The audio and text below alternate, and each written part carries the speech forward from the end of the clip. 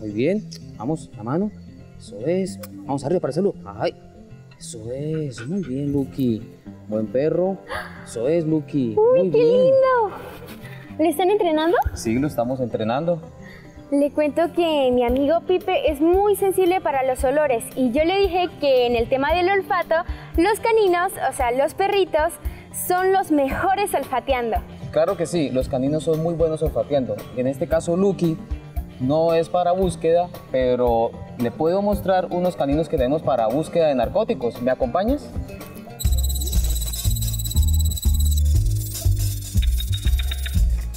Sí, claro, vamos. Vamos.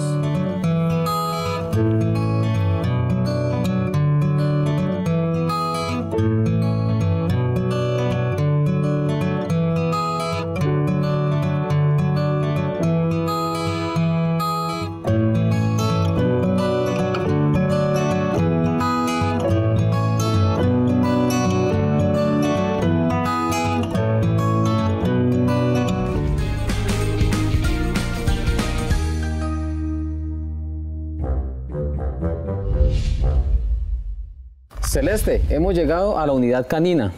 ¡Guau, qué lindo! Hay un montón de perritos aquí. Intendente, ¿por qué existen los perros antinarcóticos? No existen solo los perros antinarcóticos, también existen perros que buscan explosivos, de búsqueda y rescate y de obediencia. ¿Y de qué trata cada especialidad? Los de narcóticos son los encargados de buscar drogas, los de explosivos, explosivos, los de búsqueda y rescate buscan personas en estructuras colapsadas. En caso de un temblor, un terremoto, ellos son los encargados de buscar las personas que quedan dentro de estas estructuras y los de obediencia como Lucky. Pero todos son súper inteligentes y pueden hacer muchísimas cosas. ¿Por- ¿En qué consiste exactamente su olfato? El olfato de los caninos es mil, diez mil veces más desarrollado que el de los humanos. Entonces esto lo aprovechamos nosotros para hacer nuestro trabajo de búsqueda de narcóticos, de explosivos y de personas. ¿Y ellos muerden? Eh, no, ellos no muerden, ellos son entrenados para que las personas los puedan acariciar. ¡Ay, qué comen algo en especial? Ellos comen concentrado, eh, el concentrado específicamente que nos recomienda el médico veterinario, pero también les damos comida húmeda, ¿sí? Igualmente en ocasiones, cuando es recomendación del médico, eh, con el fin de subir las plaquetas, se les da otro tipo de, de comida, de proteína para subir las plaquetas, los perritos que están enfermos. ¡Ay, claro! Intendente, si ellos trabajan, ¿les pagarán? Efectivamente, tienen una partida de alimentación y medicamentos que es el equivalente a un sueldo. ¡Ay, pero qué cool! Ellos trabajan. ¿Cuántos perros hay aquí? Tenemos 17 caninos, pero mientras hablamos vamos y les muestro algunos. ¡Claro, vamos!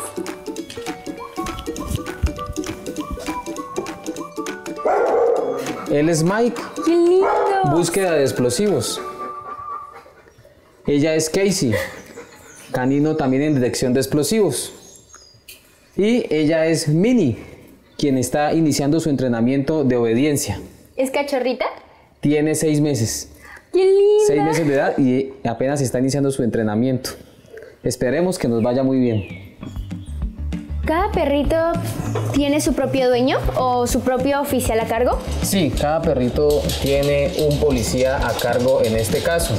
eh, que se- él se encarga de sus cuidados, él se encarga de verificar si el perrito está enfermo, él se encarga de bañarlo, de suministrarle medicamentos.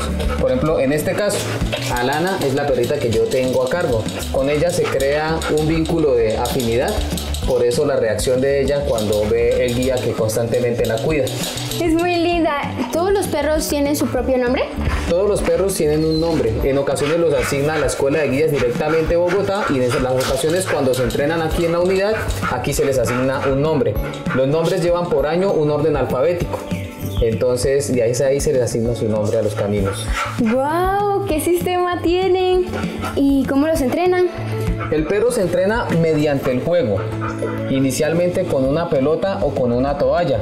El canino se mentaliza que está buscando es un juguete, en el caso de las sustancias narcóticas o explosivas, él se mentaliza que está buscando es su juguete. Por eso cuando él encuentra la sustancia como premio se le da su pelota para que él juegue con la pelota. Me imagino que cuando ellos lo hacen bien, les dan un premio. o algo que les guste. Y cuando no lo hacen bien, ¿quién les hacen? Cuando ellos lo hacen bien se les da un premio como es la pelota, cuando lo hacen mal se les da algo que no les guste. Por ejemplo, se dejan en su canil y no se sacan como a los demás caninos. Ellos se sacan a relacionarse, a expansión como el resto de caninos, pero entonces el que hace las cosas mal no se saca. Entonces no pasan todo el tiempo aquí encerrados. No, no pasan todo el tiempo encerrados. Ellos tienen su, su tiempo de expansión, bien sea en la mañana, bien sea en la tarde, a relacionarse con el resto de caninos. Entendiente, yo le tengo una pregunta, pero aquí entre nosotros. ¿A los perros para entrenarlos también les dan droga? No, en ningún momento. Ese es un mito que existe alrededor del entrenamiento con caninos.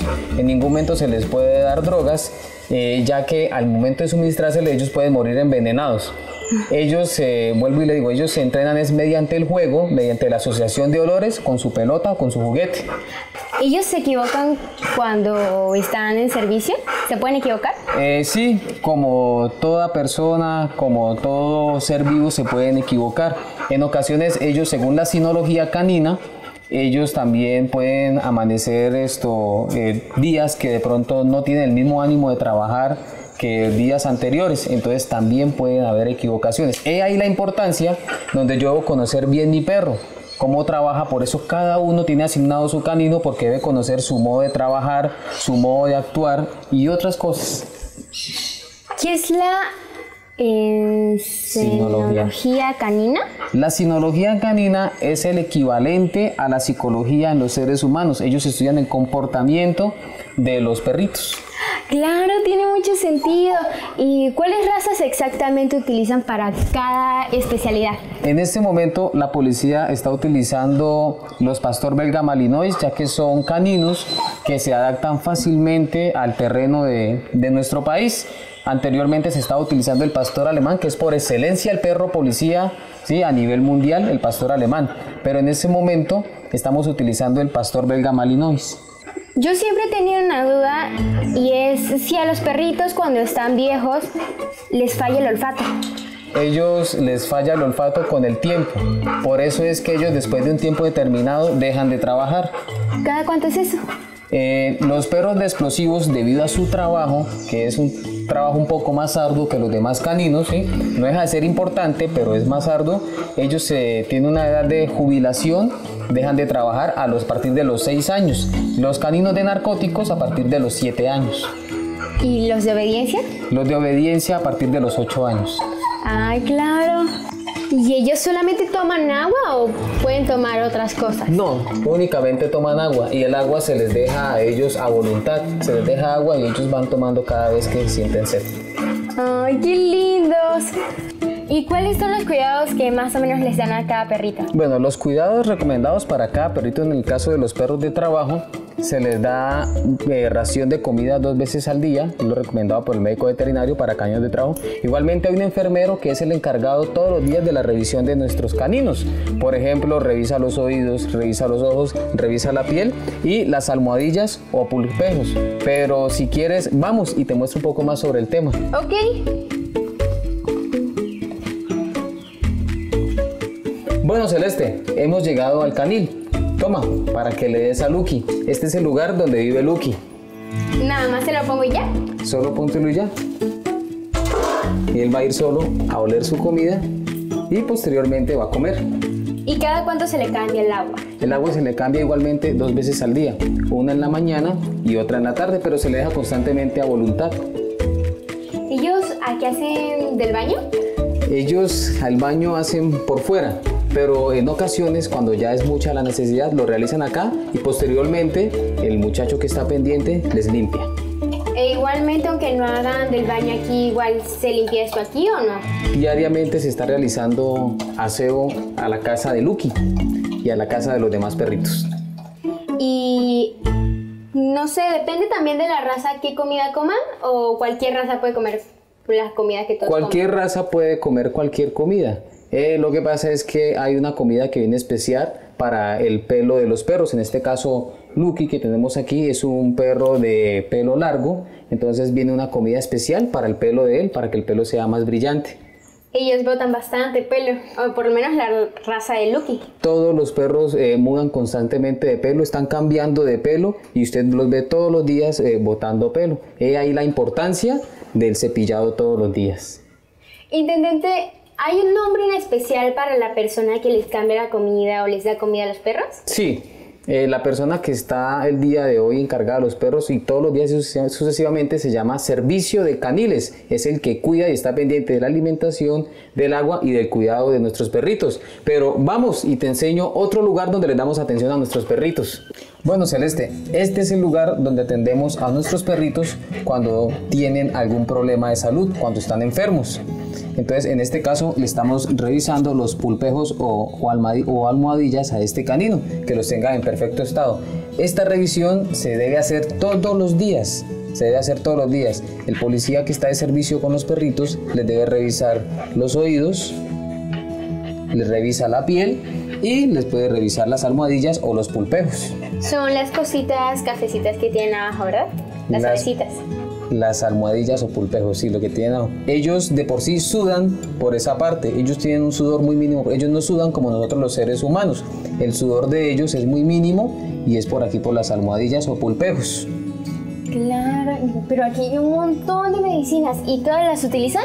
Todas las utilizamos con el fin de prevenir enfermedades graves o que de pronto se enfermen mucho más nuestros perritos. ¿Y cuáles son, o sea, de qué especialidad es el perrito que más enferma? Bueno, todos los perritos se pueden enfermar de cualquier cosa, incluso los que tenemos en casa, nuestras mascotas. Los que están más expuestos, en el caso de los de nosotros, de los nuestros de la policía, son los caninos de explosivos, ya que están en el campo expuestos a muchas enfermedades. Entonces son los que tienden más a enfermarse. ¿Y este perrito de qué es?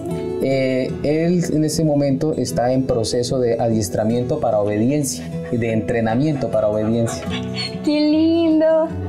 ¿Y qué pasa cuando un perrito está tan enfermo que no tiene cura? ¿Qué le pasa? Bueno, en los casos desafortunados, en los casos desafortunados que los perritos están muy enfermos, que el dictamen del veterinario es que no tiene cura, como último, como última fase, como último recurso, como última decisión, eh, se les aplica el proceso de eutanasia farmacológica, que se aplica un medicamento para que el perrito deje de vivir y se le evita un, un padecimiento o se le evita un sufrimiento constante. Ay, pobrecita.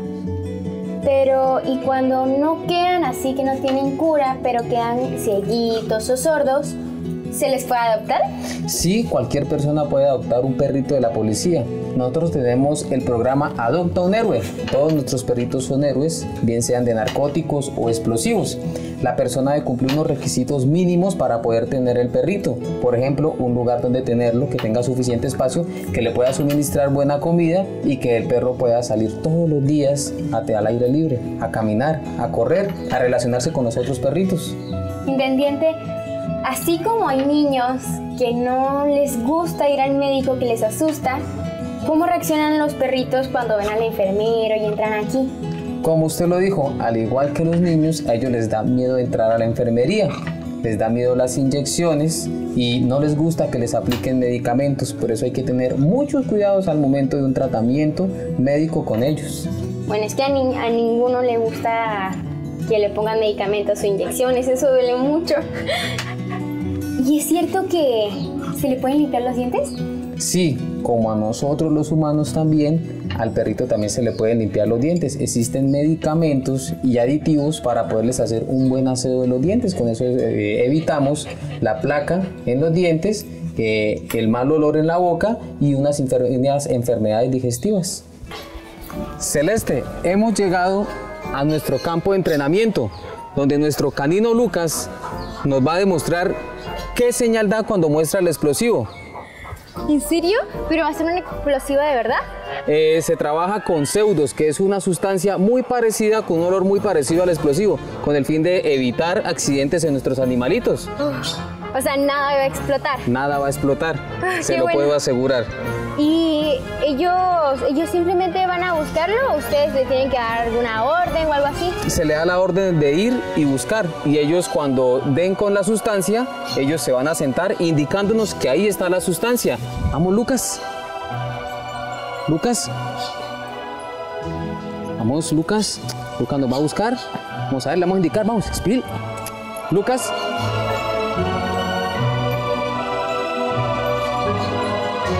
Lucas nos está indicando que ahí está el explosivo. Nos está indicando, él me mira y está esperando el juguete. Ya procedemos a darle el juguete y muy bien, Lucas. Como vemos, venga niño, Lucas, eso es. Él vuelve y le damos como premio el juguete. ¿Y qué había debajo de la teja? Tenemos un pseudo de pólvora negra. Es un olor muy parecido a la pólvora negra. Y bueno, si este es el entrenamiento para los antiexplosivos, ¿cuál es el entrenamiento para los de obediencia? Los de obediencia tienen otro tipo de entrenamiento que a continuación te voy a mostrar. ¡Vamos! Ok.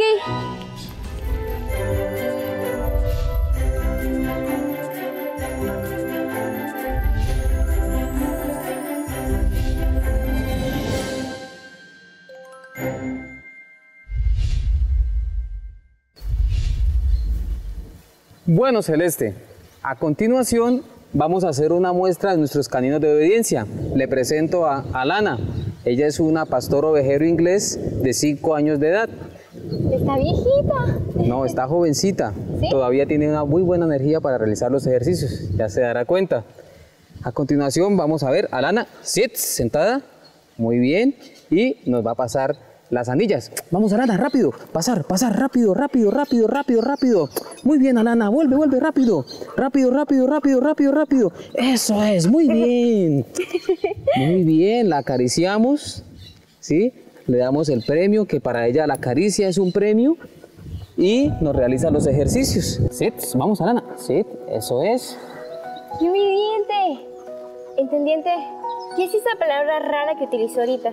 La palabra sit Exacto. Bueno, los caninos nos entienden mucho más fácilmente con palabras de un solo golpe, de una sola sílaba. Ella me va a entender más rápidamente si yo le digo sit a decirle siéntese como en español. En español hay palabras mucho más largas que en inglés o en alemán son un poco más cortas, como el caso de Lucas, el canino Lucas. Como viste anteriormente, a Lucas lo mandamos con la palabra spill, que es el equivalente a buscar. Sí, yo lo oí. Y, pero de verdad, de ellos, no importa el idioma que sea. No, no importa el idioma que sea, ellos nos van a entender. ¡Qué inteligentes! ¿Puede intentarlo? Claro que usted puede intentarlo. Sigue. Aquí. Alana, ven, vamos. Vamos. Pasa, pasa, pasa, pasa, pasa. pa- Corre, corre, corre. Vamos, Alana, pasa. Ven, ven, ven. De vuelta. Vamos, vamos. Vamos, pasa, pasa, pasa.